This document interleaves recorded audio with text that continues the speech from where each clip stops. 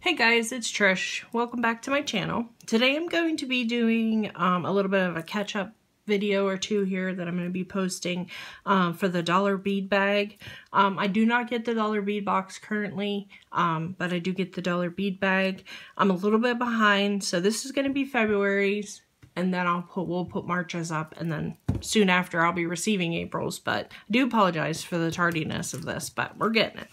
Um, so I'm going to go through um, the strands that I get. Like I said, it's just going to be a cute, a, a short little video, but um, I'll show you all the ones that I've gotten so far. Um, this is February 2020, and this is all Czech fire polish that comes in the dollar bead bag.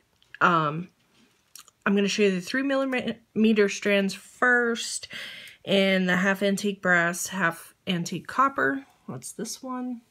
Make sure I have my light adjusted correctly not bad. Okay. So that's this one. Half antique brass, half antique copper. I just love fire polish. You know, I have um, quite a few um, types of beads that I enjoy, but fire polish is right up there. So there's those ones. The next one is Mint Green AB That's that. Super pretty. I love AB. um, metallic pearlized purple. What's this one? Again, these are all the three millimeter because you get four strands of three millimeter and four strands of four millimeter. Metallic purple. And deep rose luster. So one. Very pretty. Okay, and then the four millimeter, we're gonna start with the two half metallic lumi. It's called. Super pretty.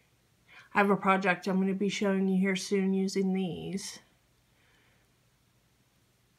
Really pretty, I like those a lot. Um, and then the fern green half copper. These are super cool, guys. It's like the, as it said, it's half copper and half green thought those were so cool. And then the Tanzanite Vitrail. I guess that's how you say it. Um, it's like a Tanzanite color with the Vitrail, I guess, treatment on it. So that's those. Aren't they gorgeous? Just simply gorgeous. And then the last one is the Raspberry Copper, which I get this quite often and I'm glad because I do use it a lot in my pieces. So is that one?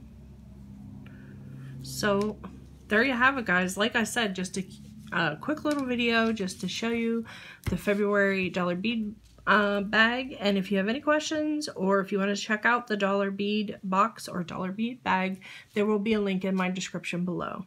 Thanks guys. See you in the next one.